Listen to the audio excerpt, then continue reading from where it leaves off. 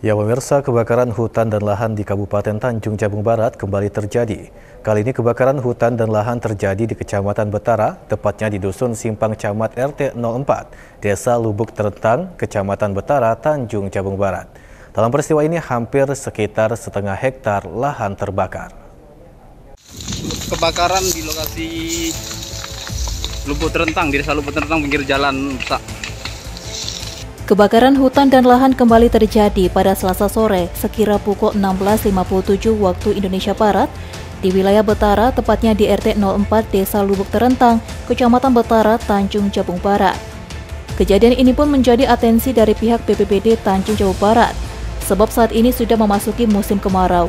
Diketahui kasus karhutla memang kerap terjadi di Tanjung Barat. Sekretaris BPBD Tanja Barat membenarkan bahwa pada Selasa 8 Februari 2023 sore telah terjadi karhutla di Dusun Simpang Camal, Kecamatan Lubuk Terentang. Namun beruntungnya lokasi kebakaran dekat dengan kawasan penduduk maupun kawasan perusahaan, sehingga pihak perusahaan dibantu Manggala Agni turut membantu melakukan pemadaman sehingga api tidak merembet ke lahan lainnya. Jadi kejadian itu pada hari Selasa ya, di RT 04 Dusun Simpang Camat Desa Simpang Utara.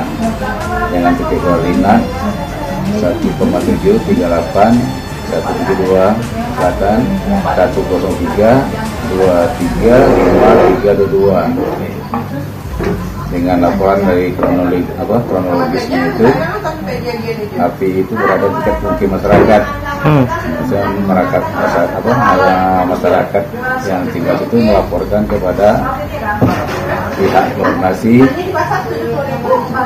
dengan dengan kantor kami BWD menggalakni betul di situ ada ada pos damkar terdekat di Kecamatan Utara dibantu dengan PT Petro Cina.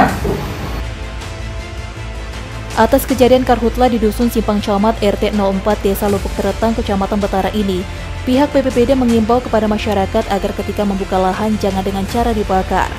Sebab selain merugikan orang lain, ancaman pidana menanti bagi masyarakat yang membuka lahan dengan cara dibakar. Surya Kurniawan, Jack TV, melaporkan.